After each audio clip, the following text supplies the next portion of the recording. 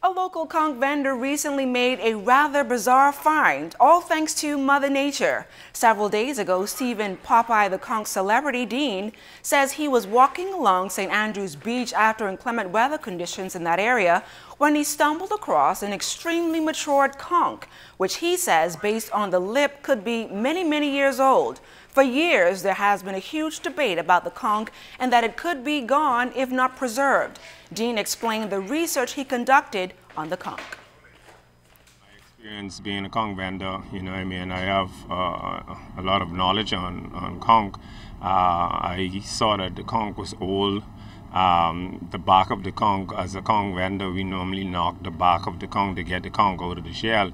Uh, it wasn't, it didn't have a hole, so I realized, you know, that this conch, you know, has been a, around for a very long time. You know, I can't determine the age right now, but I know that this is a very old conch.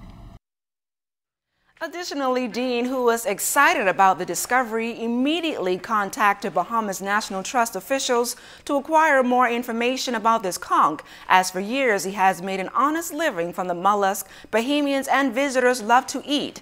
He says a study must be done to determine the age and how the matured conch met its demise.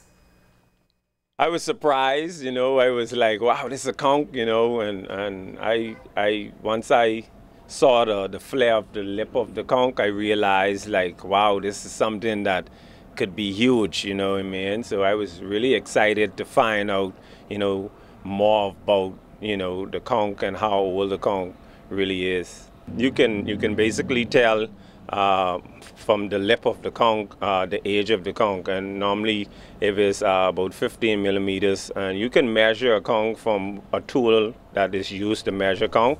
It's called a caliber, and once is a penny, but a penny size within width. Uh, that means that conch could be a mature conch. And what I noticed that this lip overlap enormously, uh, you know, is very huge in the, the structure.